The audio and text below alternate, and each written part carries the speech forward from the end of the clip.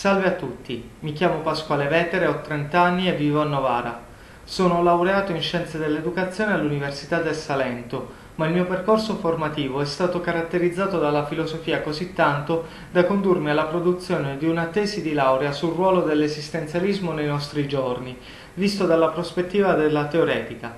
Tutt'oggi mi dedico con passione alla materia, mi informo, continuo a leggere e studiare da autodidatta, tentando quando possibile di assistere a conferenze nei pressi del mio territorio.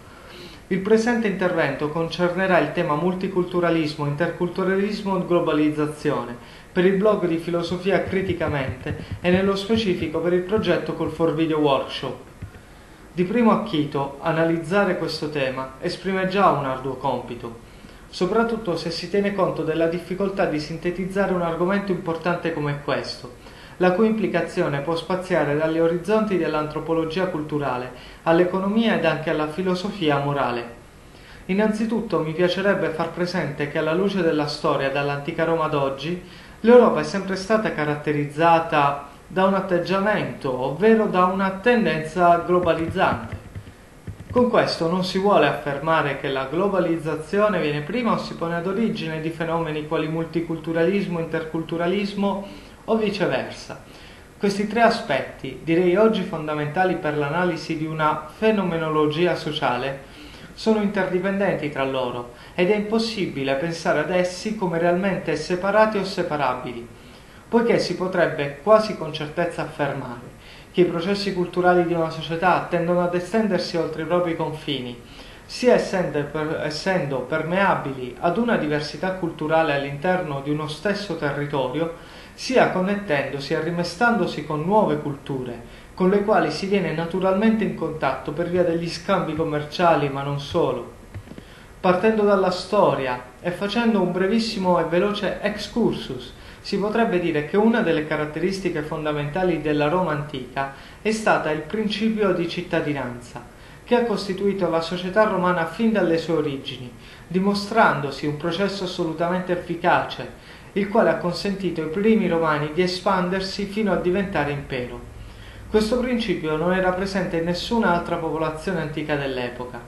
Esso consisteva nell'accogliere in uno stesso territorio persone provenienti da altre regioni, che chiedevano asilo politico poiché scacciati o condannati dalle loro comunità d'origine.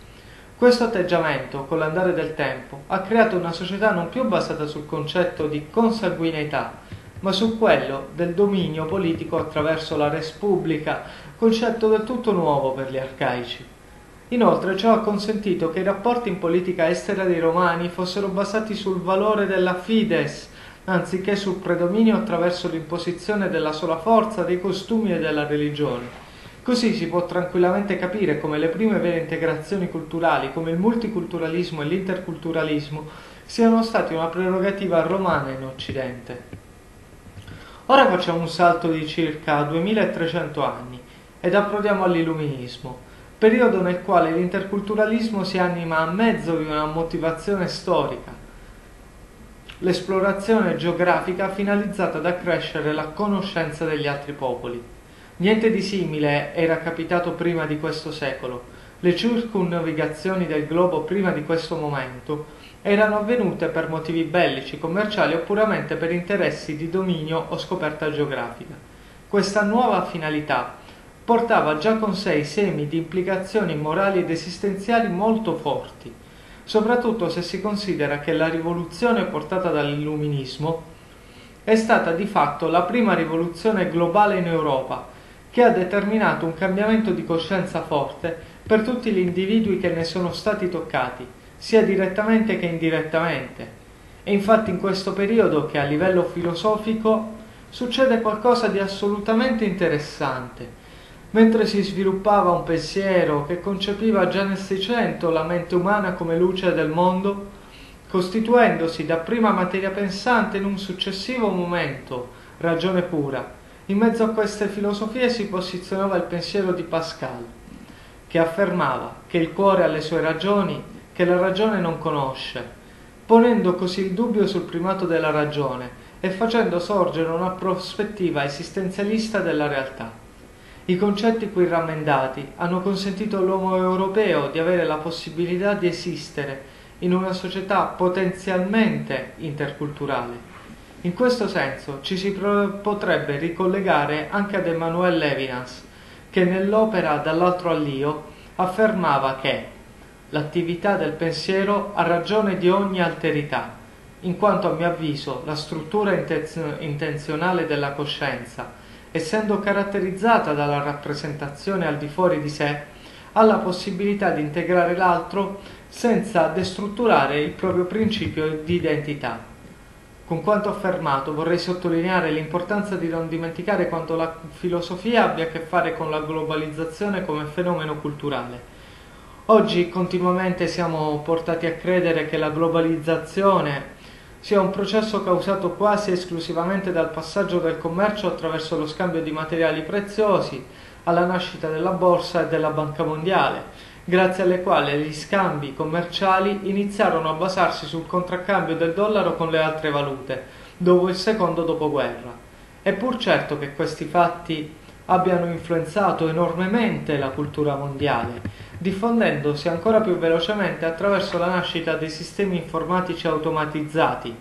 e della comunicazione commerciale intercontinentale. Però è da considerare che la sostituzione del valore come orientamento morale di una società con la virtualità di un valore generalizzato ed aleatorio della moneta come simbolo è un sistema che ha già mostrato tutta la sua fallibilità e la sua insufficienza, insuffi, scusate, tutta la sua fallibilità e la sua insufficienza a costituire e reggere una struttura globale ed interculturale, poiché le fondamenta di una società così impostata non sono solide, già che mancano di coscienza, per dirla in maniera filosofica, ma possiedono esclusivamente finalità che mirano ad espansioni capitalistiche, troppo prive di contenuti per preservare la libertà di diversità culturale e di coscienza dell'essere e dell'essere diverso, poiché è questo che consentirebbe una globalizzazione realmente democratica, multiculturale ed interculturale. Se tutto continuerà ad essere dedotto alla luce del commercio e del sistema produttivo, la crisi non avrà mai fine, come già giustamente Husserl presentì in qualche maniera. Con questo intervento terminato, spero di aver chiarito la mia asse di pensiero che, eh, il mio asse di pensiero, pardon, che voleva riassumere, sintetizzare la globalizzazione alla luce di una rivoluzione culturale non economica come potenzialmente culturale rispetto a quello che magari succede oggi e rispetto a quello che, ehm, che la vede oggi protagonista esclusivamente in tal senso, come anche in Europa sta eh, accadendo. Uh, con questo ho terminato, uh, do i, saluti, i miei saluti a tutti gli ascoltatori. Grazie per l'attenzione.